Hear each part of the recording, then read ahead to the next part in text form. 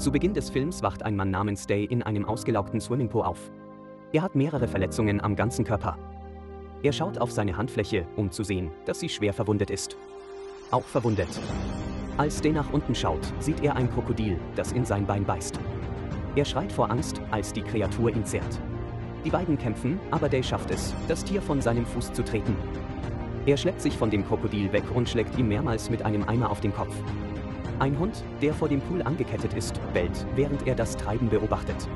Das Krokodil dreht sich um und lässt Day allein. Als die Kamera herauszoomt, sehen wir, dass Day in einem tiefen Pool steckt, aus dem es keine Treppe gibt. Schnitt auf vor sechs Tagen. Das gleiche Becken war komplett mit Wasser gefüllt. Day hilft bei einem Fotoshooting im Pool. Ein Sofa wird ins Wasser geworfen, wo ein Model mit Joker-Make-up posiert. Days Freundin Koi kommt mit ihrem Hund Lucky zum Shooting. Day wurde angewiesen, Lucky als Requisite für das Fotoshooting mitzubringen. Day ist Diabetiker, also geht er in eine Ecke, um seine Insulinspritze zu machen, wo Koi ihm folgt. Sie scherzt darüber, schwanger zu sein, was Day verunsichert. Sie nehmen den Hund mit zum Shooting, was sehr gut läuft. Die Crew macht ein gemeinsames Foto und fährt am nächsten Tag ab. Der Tag ist wieder mit Lucky am Pool.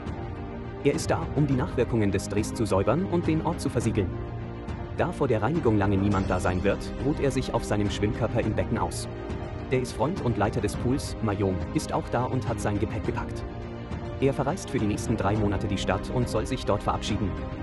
Er zieht einen Hebel nach unten, um das Wasser aus dem Pool abzulassen und bindet Lucky dann mit einer Kette an eine Stange in der Nähe, bevor er geht.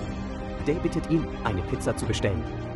Mayam stimmt zu und verlässt den Ort während er Day sagt, er solle schnell aus dem Wasser kommen, weil er es gelehrt hat. Day schläft fälschlicherweise auf seinem Floating ein, ohne zu bemerken, dass der Wasserstand im Pool sinkt. Einige Zeit später wird er von Lockys Bellen geweckt. Er bemerkt schließlich den Wasserstand und schwimmt zum Rand, um aus dem Pool zu kommen, merkt aber, dass er zu tief drinnen ist, um herauszutreten. Day versucht, den Pool hinaufzuklettern, ist aber erfolglos. Dabei bricht er sich sogar einen Fingernagel. Dann bringt er das Floaty mit, um ihm beim Klettern zu helfen, aber es funktioniert auch nicht. Er schreit um Hilfe, aber die Kamera zoomt heraus, um uns zu zeigen, dass niemand in der Nähe ist. Days Handy liegt direkt am Beckenrand. Plötzlich fängt es an zu vibrieren und sich zum Rand hin zu bewegen. Der Tag wartet glücklich darauf, dass er fällt, bereit, ihn aufzufangen. Aber genau in diesem Moment stolpert Lucky in den Pool und hängt sich an der Leine an dessen Rand. Day schwimmt zum anderen Rand und hilft Lucky wieder aufzustehen. Mit Hilfe des Schwimmers fällt sein Telefon, wird aber vom Ladegerät aufgehängt. Der Tag eilt schnell, um es zu holen, aber der Wasserstand ist gesunken. Als er versucht, das Telefon zu erreichen, fällt es ins Wasser und funktioniert nicht mehr. Day plant dann, das weitere Abfließen des Wassers zu stoppen, indem er die Abflussventilation mit seiner Robe abdeckt. Gerade als er dazu ins Wasser geht, kommt ein Lieferjunge, um ihm seine Pizza zu bringen. Er sieht sich um und sieht niemanden. Dann ruft der junge Mayam an, um ihn zu fragen, was er tun soll.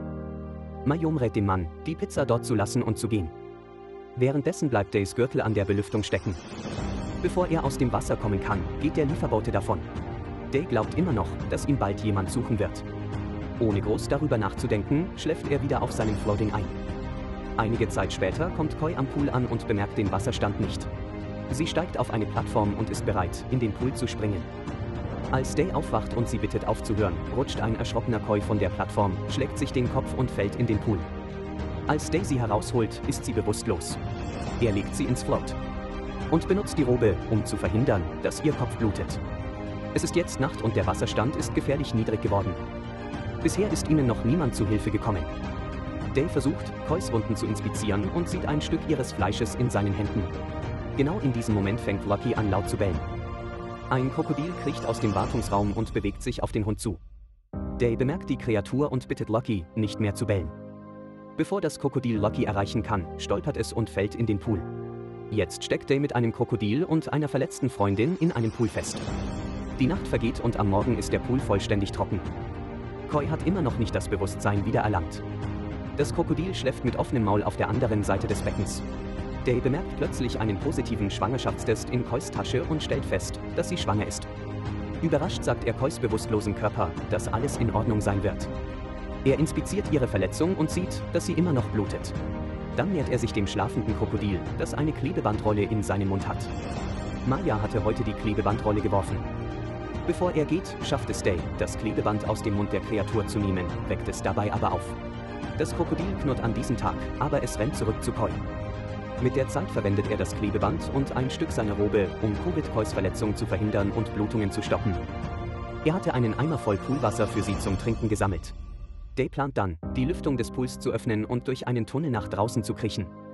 Er öffnet die Abdeckung der Lüftungsöffnung und geht zurück, um nach Koi zu sehen. Bevor er zurückkehren kann, kriecht das Krokodil in den Tunnel.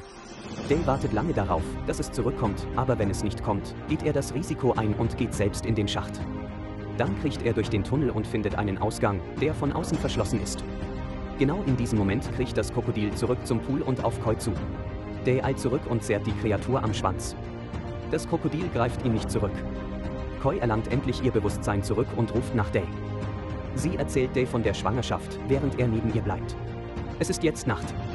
Koi ruht sich auf dem Sofa aus, das für das Fotoshooting verwendet wurde. Day Notice hat Glück, die Pizza draußen zu essen. Der Hund wirft die Pizzaschachtel für seine Besitzer in den Pool. Tag und Koi fressen endlich zum ersten Mal seit drei Tagen. Am vierten Tag geht ihnen das Trinkwasser aus. Day wird bewusstlos und bleibt den ganzen Tag so. Er wacht nachts auf, weil Koi ihn ansieht. Day fragt sie, ob das Krokodil ihr Probleme bereitet hat. Koi antwortet, dass das Krokodil-Krokodil ein Weibchen ist, das tagsüber Ei legt. Es beginnt zu regnen und gibt dem Paar Gelegenheit, mehr Wasser zu sammeln. Am nächsten Morgen macht sich das Krokodil auf den Weg zu einem schlafenden Tag, fällt aber in den Schacht, bevor es ihn erreicht. Day schiebt die Kreatur hinein und deckt die Öffnung ab. Dann versuchen die beiden, mit den getrockneten Grasstücken und Days Gläsern ein Feuer zu machen. Sie kochen die Krokodileier und verschlingen sie. Nachts besteigen die beiden das Sofa und steigen darauf, um zu entkommen, aber sie können die Spitze nicht erreichen. Sie sitzen zusammen und reden über verschiedene Dinge, als Day verrät, dass er wollte, dass Koi abtreibt, wenn sie schwanger wird. Ein Koi mit gebrochenem Herzen schlägt Day, als er versucht, sie zu trösten. Sie wissen, dass sie keinen weiteren Tag in der Sonne überleben können. Am nächsten Tag öffnen sie die Entlüftung und das Krokodil kehrt in den Pool zurück. Koi kommt schnell hinein, während das Krokodil zu seinen Eiern geht. Als es sieht, dass sein Ei gestohlen wurde, greift es Day an. Aber Day schafft es, in den Tunnel zu entkommen und ihn zu schließen, bevor die Kreatur ihn erwischen kann. Day hat seit mehreren Tagen keine Insulinspritze bekommen und wird krank. Durch die Öffnung sehen sie eine Insulinspritze, die Mayom auf einem Tisch in der Nähe platziert hatte. Day versucht, die Injektion mit einer Drahtschnur in ihre Nähe zu bringen, aber stattdessen fällt sie herunter und zerbricht in Stücke. Das Paar weint vergebens ohne Ausweg. Day bemerkt dann seinen Insulinfall auf dem Boden. Wie sich herausstellte, hatte Mario es bei seinem letzten Besuch versehentlich in die Lüftungsöffnung fallen lassen. Er injiziert sich das Medikament. Später bemerken die beiden einen Fallschirm, der über dem Pool fliegt. Day bittet Koi, den Eingang des Tunnels mit einem Fass zu schließen und geht hinaus, um selbst um Hilfe zu rufen. Als er zurück zum Pool kommt, schreit er, dass der Fallschirm nur ein Kinderspielzeug war. Er schreit um Hilfe in der Hoffnung, dass ihn jemand hört. Ein starker Wind lässt einen drahtgebundenen Kleiderbügel in den Pool fallen. Day versucht damit zu klettern und ist glücklich. Wenn der Draht sein Gewicht hält, verletzen sich seine Handflächen, aber er hört nicht auf zu klettern.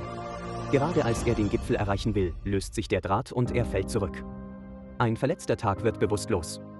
Er wacht am sechsten Tag auf und schaut auf seine verletzte Handfläche, genau wie in der allerersten Szene des Films. Das Krokodil zieht Day an seinen Beinen. Er schafft es, sich zu befreien und kriecht zum Sofa, aber sein Bein ist verletzt, also ruht er sich aus, bevor er zu Koi zurückkehrt. Nachts beginnt es zu regnen. Da der Tunnel blockiert ist, beginnt der Ort, an dem sich Koi befindet, zu überfluten. Sie schlägt auf das Fass, um Day zurückzurufen. Day hört sie und kriecht zurück in den Tunnel. Diesmal beschließt er, ans andere Ende des Tunnels zu gehen und findet auch dort eine Entlüftung. Irgendwie schafft er es, sie aufzubrechen und tritt glücklich hinaus. Doch bald überwältigt ihn die Enttäuschung. Es stellte sich heraus, dass die Einrichtung zwei Schwimmbäder hatte und er gerade das zweite betrat. Sie ist genauso tief wie die erste und hat keinen Ausweg. Es ist jetzt der siebte Tag.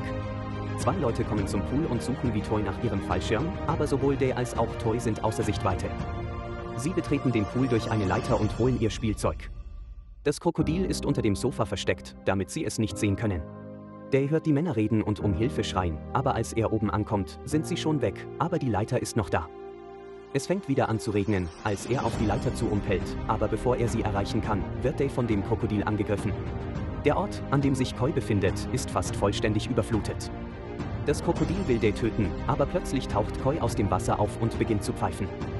Koi leben zu sehen, gibt Day weiteren Treibstoff zum Leben und er entkommt genau im richtigen Moment dem Krokodil. Day geht wieder auf die Leiter zu, aber das Fass, an dem die Leiter befestigt war, rollt weg und nimmt die Leiter mit. Die letzte Überlebenschance des Tages ist dahin. Genau in diesem Moment zieht Kois Pfeifen Lucky an, da dieselbe Pfeife verwendet wurde, um den Hund zu trainieren. Day warnt Lucky, nicht zu springen, aber seine Bemühungen sind vergebens. Der arme Hund, immer noch an eine Kette gebunden, versucht in den Pool zu springen und wird am Hals aufgehängt. Ein hilfloser Tag sieht zu und wimmert vor Schmerzen, während Lucky langsam an Erstickung stirbt. Woho. Da verliert Day die Fassung und tötet schließlich in einem Wutanfall das Krokodil, indem er es mit einer Stange ersticht. Day ist nach der Begegnung am Boden zerstört, aber er muss Koi immer noch retten. Er nimmt viel Mut zusammen und tut das Undenkbare, indem er aus dem Schwimmbecken klettert. Mit dem toten Lucky und seiner Kette ist der Tag nach sieben Tagen des Kampfes endlich außerhalb des Pools. Er eilt schnell zu der Öffnung, wo Koi ist und sieht, dass sie vollständig mit Wasser gefüllt ist. Er findet ein großes Rohr in der Nähe und versucht, die Entlüftung zu öffnen. Aber als es sich öffnet, verliert er das Gleichgewicht und fällt fast in denselben Pool. Glücklicherweise schafft er es, sich an der Kante festzuhalten und nutzt seinen Willen, um nach oben zu klettern. Er taucht dann schnell ein und bringt einen bewusstlosen Koi heraus. Zunächst scheint es, als wäre Koi tot, aber nach einer Herzlungenwiederbelebung und viel Mühe gelingt es ihm schließlich, sich zu retten. Der Film endet, als sich die beiden endlich umarmen. Abonniere jetzt den Kanal. Wir sehen uns im nächsten Video. Wenn es wieder heißt, he, ungelöst hier.